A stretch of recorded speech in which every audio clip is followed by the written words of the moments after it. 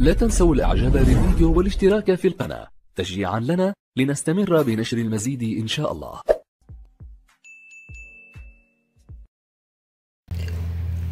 بسم الله الرحمن الرحيم. السلام عليكم ورحمة الله تعالى وبركاته. آه عندنا هنايا power supply من وحدة التغذية تاع micro-ordinateur تاع تاع الكمبيوتر. هنا وحدة التغذية كما ترون هذه الفولتيات التي هي مكتوبة هنا. G اللي هو السالب ولدينا 12 فولت ناقص 12 فولت و5 فولت و3.3 فولت. هذه الفولتيات التي أستعملها في تجاربي. ولكن عندما أحتاج فولتيات أخرى مثلا مع ناقص 12 فولت استعمله مع 5 فولت يعطي لي 17 فولت أو ناقص 12 فولت مع 12 فولت تعطي لي 24 فولت. و ناقص 12 فولت مع 3.3 تعطي لي 15 فولت. هذه الفولتيات عندما أريد أن أستعملها نستعمل هذه الفولتيات محدودة والتي هي مكتوبة هنا على هذه power supply كيف استخدمت هذه ال power supply من وحدة التغذية الكمبيوتر؟ هيا لدينا وحدة وحدة تغذية الكمبيوتر. لدينا الأسلاك كما نعرفها سابقا ال orange. هذا يعطينا 3.3 فولت. اللون الأحمر يعطينا 5 فولت. واللون الأصفر يعطينا 12 فولت. واللون الأسود هو السالب. ولدينا هذا الخط الأزرق. وهناك من تجد اللون الأبيض. هو ناقص 12 فولت ناقص هنا لدي الأزرق ناقص 12 فولت. أما الأخضر فهو يتصل مباشرة مع مع اللون الأسود لكي تعمل وحدة التغذية أو نستعمل لها آه، قفل يعني لفتح وقلق قلق الدار يعني نفتح من هنا ندير قفلة نربطهم بزر معين. عندما نشغل نشغل وحدة التغذية نشغلها ما بين الأخضر والأسود. تشتغل الدار إذا أردت أن أستعملها مباشرة نربطهما مع الأسود آه، خط آه، واحد من الأسود من الأسلاك السوداء فقط.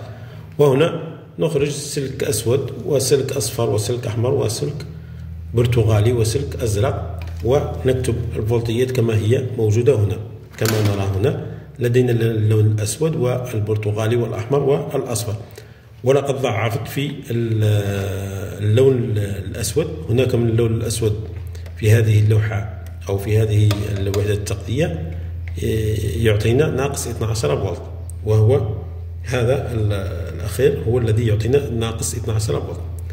هذا باللون الأسود وهنا عندي في هذه اللوحة باللون الأزرق. وتلك السالبة ضعفتها من أجل من أجل يعني آه، عندما أحتاج اثنان أو ثلاثة من السلب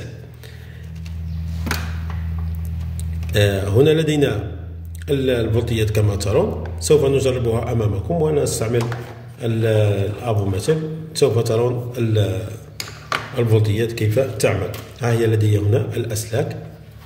هنا ناقص 12 فولت أعطيته باللون الأبيض. ها هو اللون الأحمر 5 فولت.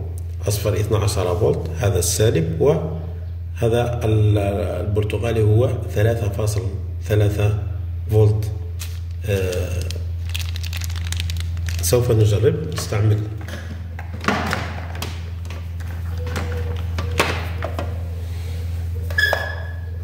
سوف نشرحها من هنا. ونحذر من التقاء الأسلاك في بعضها.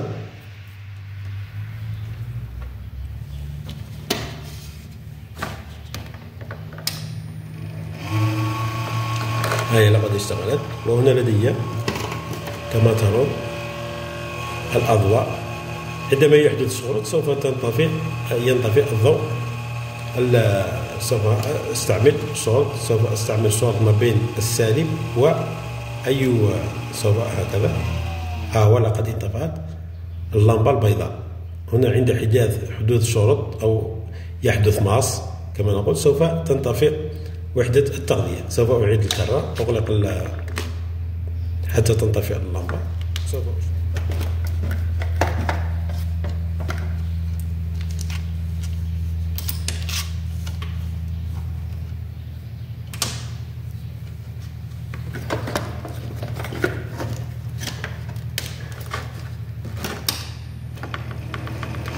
هكذا لقد اشتغلت كما ترون. يجب ألا الأسلاك ألا تلتغي مع بعضها وخصوصا السالب مع الموجب. كما ترون ها هي تعمل إذا أردت أن أقيس مثلا الفولتيات سوف أضع الملتيمتر هنا. وأعطي مثلا في الفولت العشرون هكذا. سوف أقيس مثلا أنا قد وقعت شورت مرة أخرى.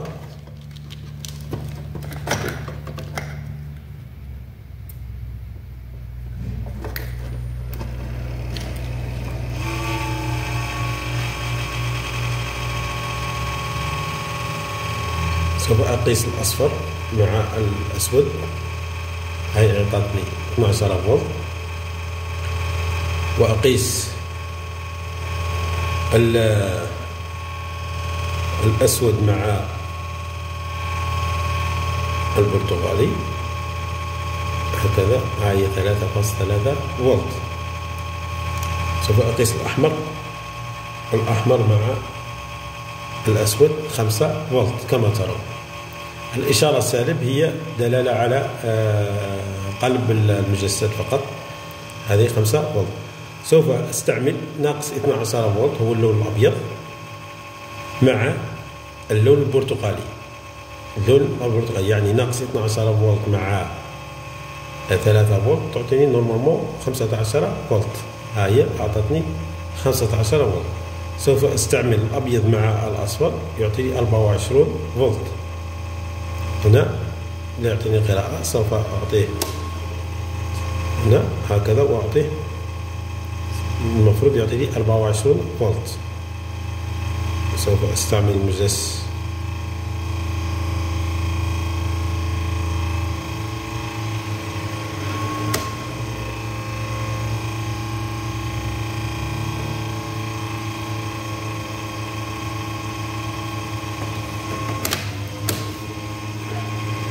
لدي مشكل في الملتيمتر. هنا من المفروض تعطيني 24 فولت.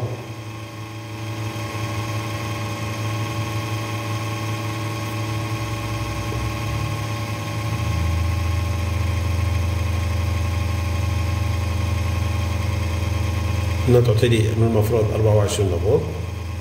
ولكن في هذا في هذا ال range يعني لم تعمل الملتيمتر سوف أستعمل عند حدود 20 فولت وأستعمل ال 5 فولت مع 12 فولت. تعطيني 17 فولت من المفروض. 17 ها هي تقريبا 18 فولت.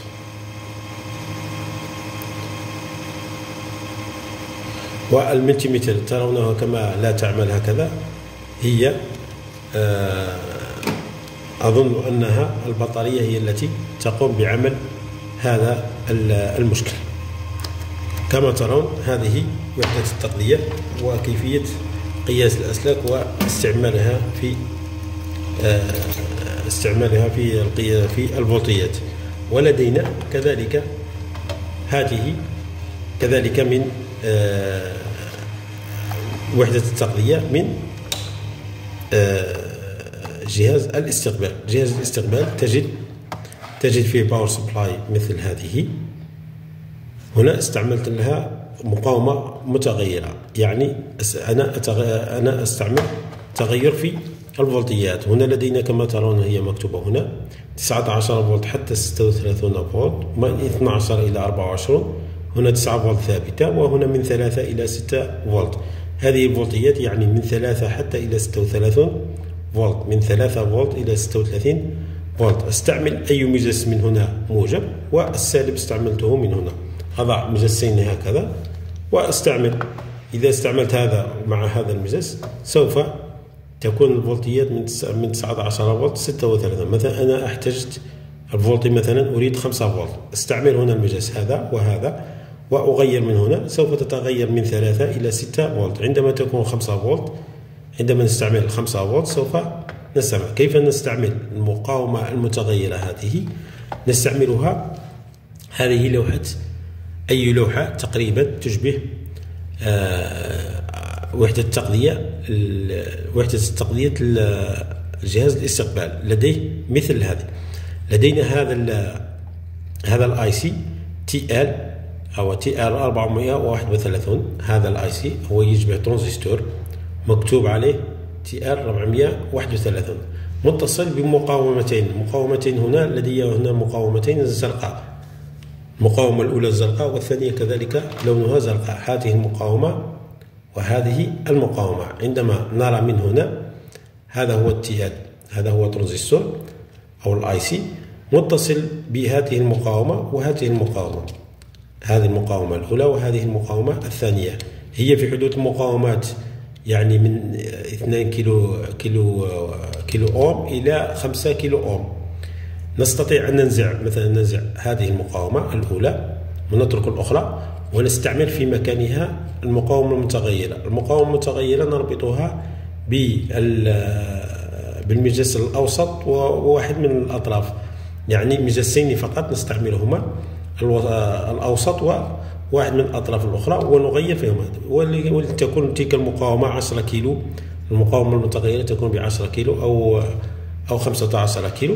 نضعها هنا في مكان هذه المقاومة. عندما نغير في المقاومه هذه تلقائيا آه، تغير في قيمة آه، قيمة التي هي تذهب إلى هذا TL 431 وسوف يغير في الفولتية. سوف يغير في الفولتية. عندما يتغير الفولتية يعطيها إلى optocoupler optocoupler راح يغير في المقاومات ويخرج لنا فولتية ما تبقاش فولتية مستقرة في 3.3 أو 5 أو هذه الطريقة التي استعملتها في هذه وهنا استعملت القابل هنا استعملته بالكهرباء. استعملت له المقبض هذا. سوف استعمل أستخدمه. وترون كيف استخدمته. وأضفت له الليدات كذلك أضفت له الليدات هنا كما ترون. هما الليدات لدينا ليدات أضفتهما لكي نعرف عند الزياده والنقصان يعني يشتغل آه، تشتغل في الثلاثة عندما تكون زيادة. يعني تقوى الاضاءه عندما أشغلها ها هو اللون الأحمر فقط مشتغل. عندما أضيفها كما ترون تشتغل. ربما لا ترون هكذا.